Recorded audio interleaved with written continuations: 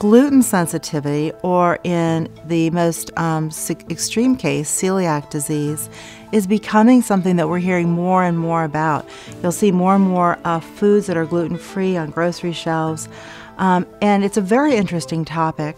So, certainly, there are a group of patients that are sensitive to gluten, and then there are patients who have what's called truly celiac disease, um, which is almost an allergy to wheat or to gluten. Uh, in those patients, it's really important to be very strictly adherent to avoiding all gluten containing products in their diet symptoms may be really all over the map. Uh, sometimes patients have diarrhea or bloating. Children may have some failure to gain weight or, or to failure to grow. There are many, many other symptoms or manifestations of celiac disease. One thing we see in adults is unexplained iron deficiency. Uh, so I think that it's one of those diseases that we definitely need to keep in our minds when we're seeing patients. Um, on the other hand, it's also important not to think that everything falls into that category of celiac disease because it has been something that has gained an awful lot of press and recognition lately. In fact, um, gluten has been sort of uh, hailed as a bad actor for many potential disorders and conditions. Um, so I think it's it's important to separate celiac disease from perhaps some gluten intolerance, and then the whole group of other disorders that may or may not have as direct a con- uh, connection to gluten. Typically, a patient presents with one or several symptoms, um, and a physician, even a primary care physician, may have a level of concern about the potential for celiac disease. Initial testing may involve some blood work um, and some antibodies.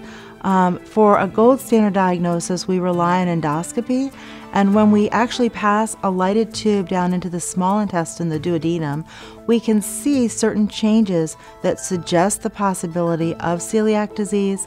We can then take some snips of tissue to look at under the microscope to solidify the diagnosis.